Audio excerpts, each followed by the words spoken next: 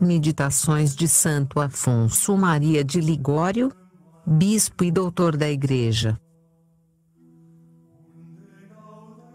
Paciência de Deus, em esperar que o pecador faça a penitência. Terça-feira, sexta semana depois da Epifania. Por isso o Senhor espera, para ter misericórdia de vós. Profeta Isaías 30,18 Sumário A paciência de que o Senhor usa para com os pecadores, esperando que façam penitência, é tão grande, que, no dizer de Santo Agostinho, se não fosse Deus, pareceria que falta justiça.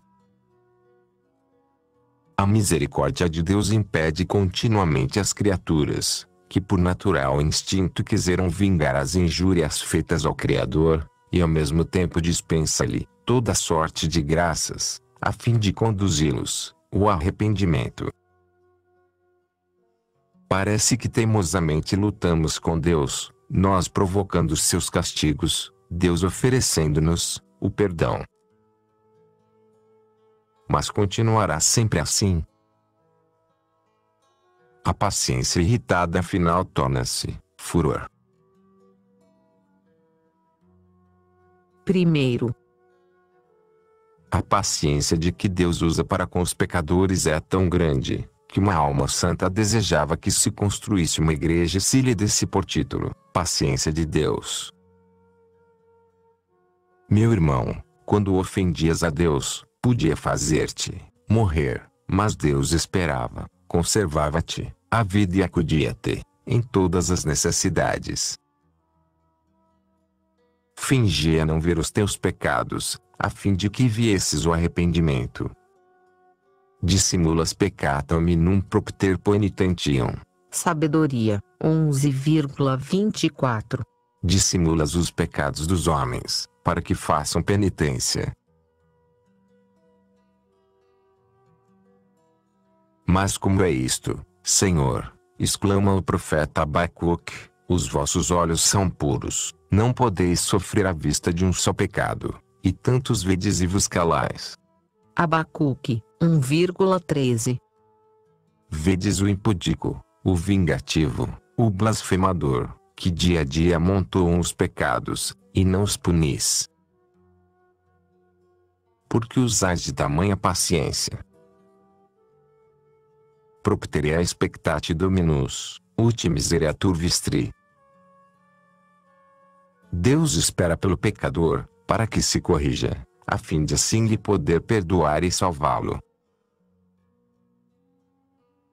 Diz, Santo Tomás que todas as criaturas, o fogo, a terra, o ar, a água, por natural instinto quiseram castigar o pecador e vingar as injúrias feitas ao seu Criador.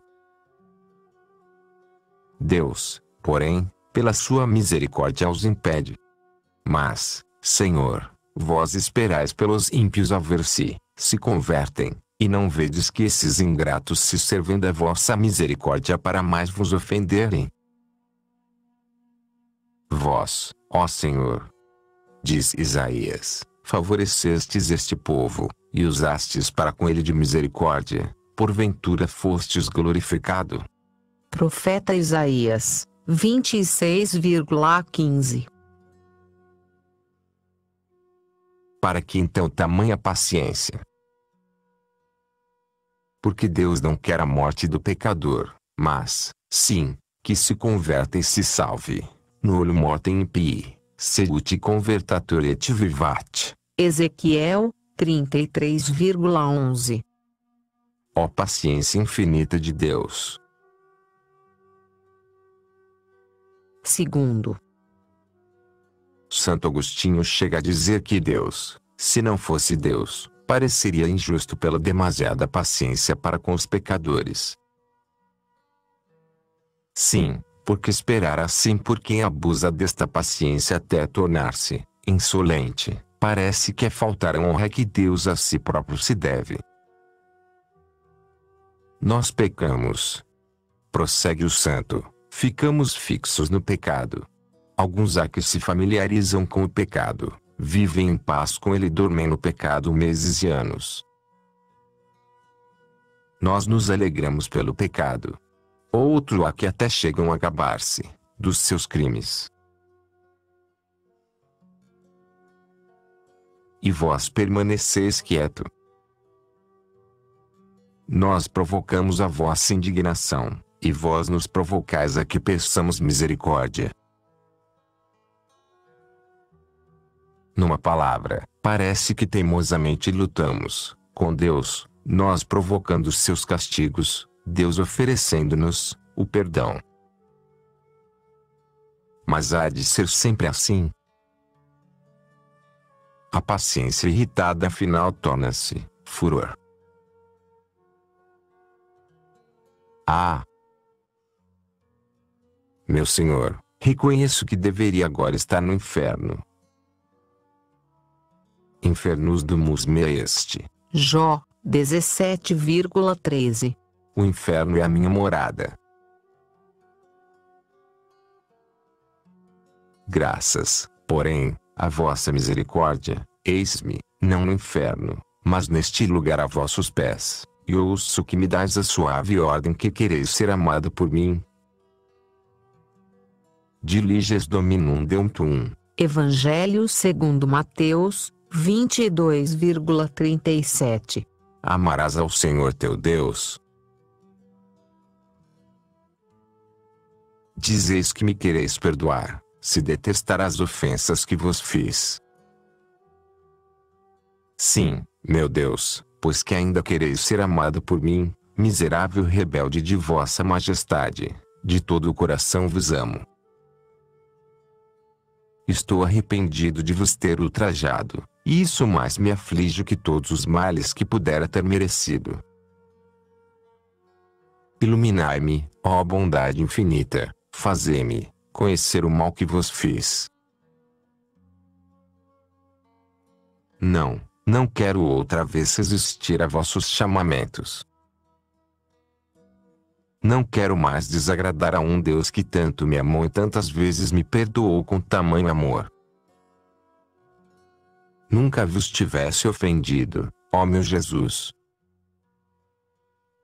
Perdoai-me, e fazei que no futuro só vos ame, que só viva para quem morreu por mim, que sofra por vosso amor, já que pelo meu tanto sofrestes. Vós me haveis amado em toda a eternidade, Fazer que durante toda a eternidade arda no vosso amor. Pelos vossos merecimentos espero tudo, meu Salvador. Em vós também, ó Maria, confio, com a vossa intercessão a vez de salvar-me.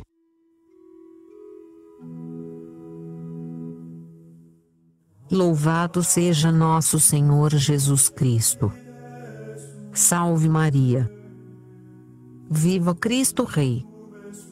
Senhor, dai-nos a fortaleza dos mártires. São Pio X, rogai por nós.